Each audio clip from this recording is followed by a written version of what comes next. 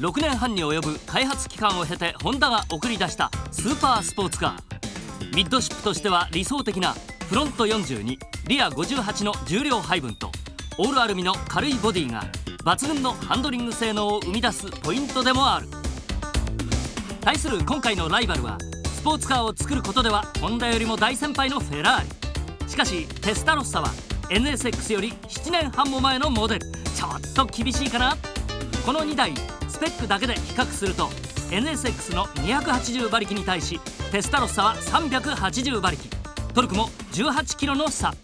310kg も重いテスタロッサだがパワーウェイトレシオは4.3と断然有利。さあついに実現した世紀のバトル。NSX 対テスタロッサだ。さあ今度は矢田部。バトルの結果をテストコースで検証してみよう。まずは04加速。ドライバーはランさんと中谷選手。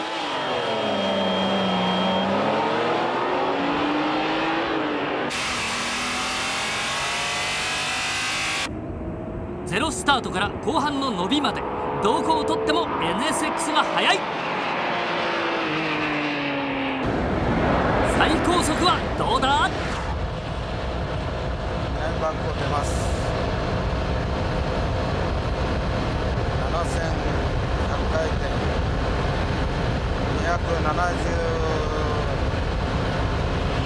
近くを今させてます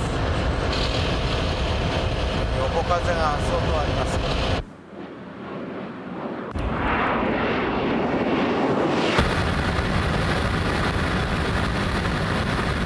全然遅いどいサスペンションだなこれ姿勢の変化が大きいこれ早かったら乗れないよこんなの。